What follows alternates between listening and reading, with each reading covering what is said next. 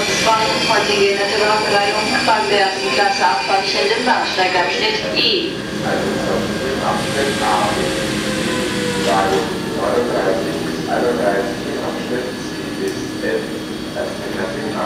A und